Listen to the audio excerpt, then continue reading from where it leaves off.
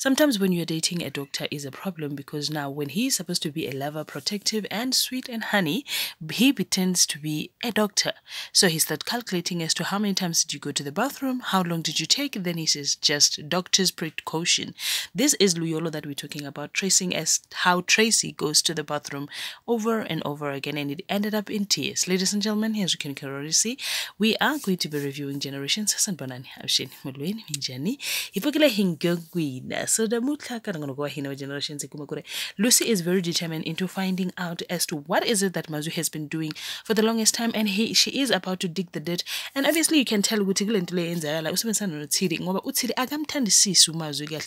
Uhlala esempini. This might probably end in tears because at the end of the day lo mlisa lo amtholile um, he must go and dig and find out what is happening ngalo sexy T ended up finding out who sexy T is a trace of which Mazwi Moroka has made so many calls to this person and it means ngathi moving right along uThidi decided to go and see uBetty ufuna ukwazi ukuthi kwenzakalani and then the type of information that she gave probably it's going to be worth a while but uthe ngifuna imali.